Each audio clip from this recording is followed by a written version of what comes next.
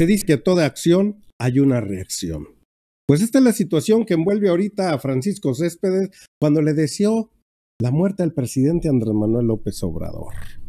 Ya hubo una repercusión porque el presidente había mandado ya un mensaje en días anteriores, posteriores a lo que había manifestado por ahí Francisco Céspedes y le decía parte de una canción de Silvio Rodríguez, pero ahora en San Miguel de Allende, en San Miguel de Allende se están manifestando en este momento y le cancelan un concierto y lo declaran persona non grata, a pesar de que el presidente municipal es del Partido Revolucionario Institucional. Pues ahí lo ve, uno de los artistas de ese lugar de San Miguel de Allende dice que no puede ir a aquel lugar.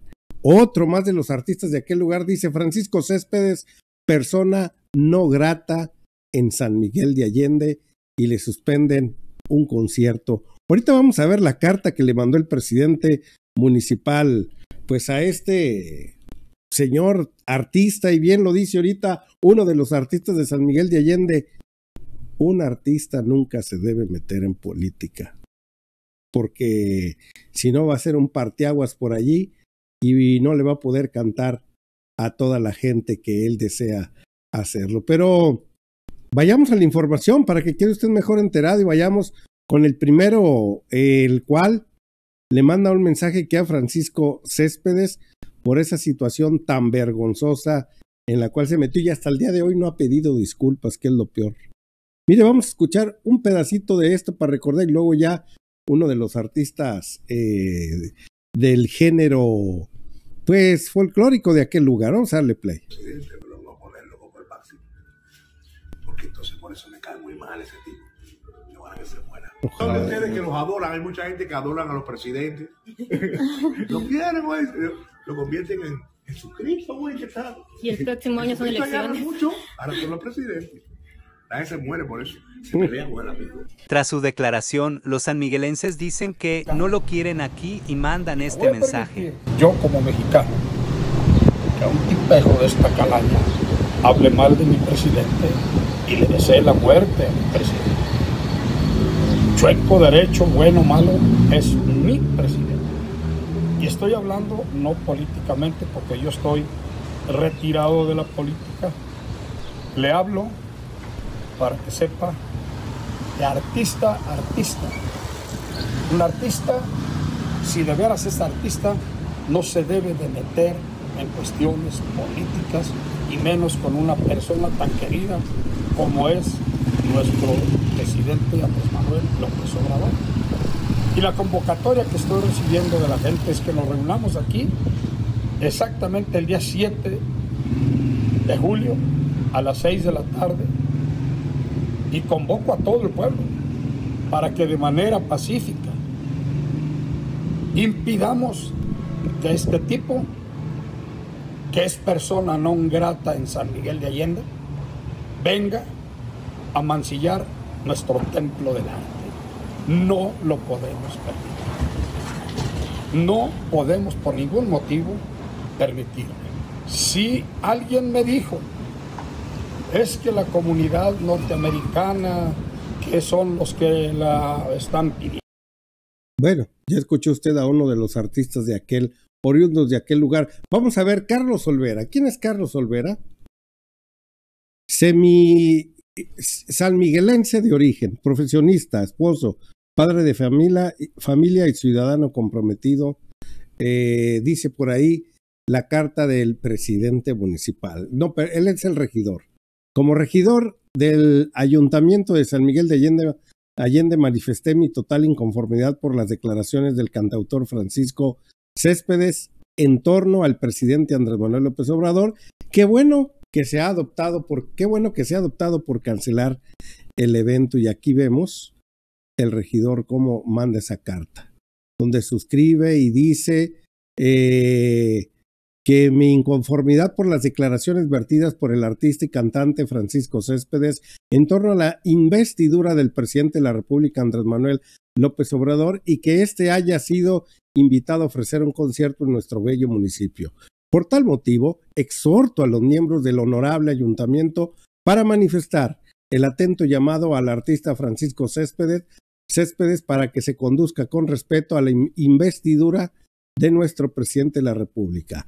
En consecuencia, ahí lo ven subrayado abajo, en consecuencia, solicito se incluya dentro de la próxima sesión de ayuntamiento para su consideración, discusión y, en su caso, aprobación del Pleno, que el presidente municipal priista de aquel lado optó por decir sí pasa esa moción a ese lugar.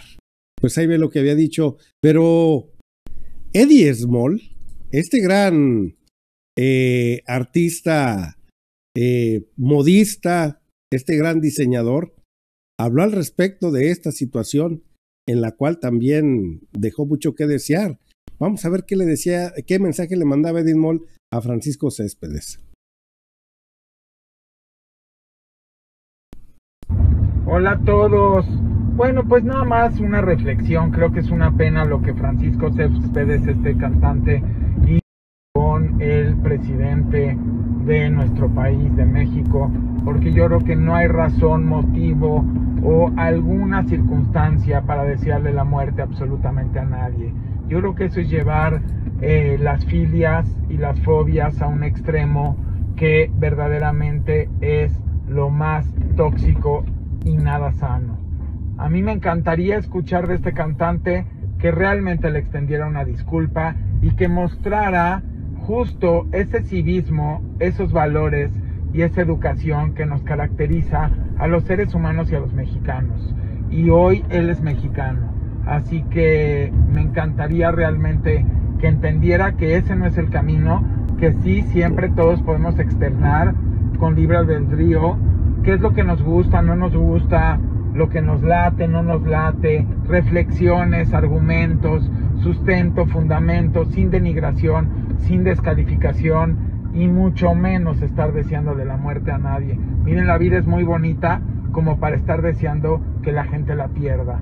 Eh, hagamos esa reflexión entre todos y tengamos una mayor camaradería y sobre todo civismo a la hora de relacionarnos entre sí, porque ese es el ejemplo que también le estamos dando a toda la sociedad y ese es el ejemplo que a final de cuentas replicarán nuestros hijos, nuestros nietos, nuestros sobrinos, Mm, quien sea, ¿no? A final de cuentas. Entonces, eh, pues esa sería la reflexión y sería maravilloso ver de él una muestra verdadera de humildad en la cual pide una disculpa, pues sí, al presidente de México por este exabrupto y que también de alguna manera él trate de sanar y de ser feliz, Francisco Céspedes, porque vivir en el odio es un infierno propio.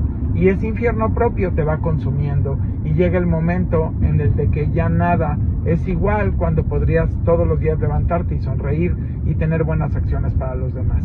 Les mando un abrazo con mucho cariño, pluralmente a todos y ojalá y podamos aprender las lecciones hasta de los actos negativos y que eso nos sirva para tener una mejor sociedad. Saludos. Hola a todos.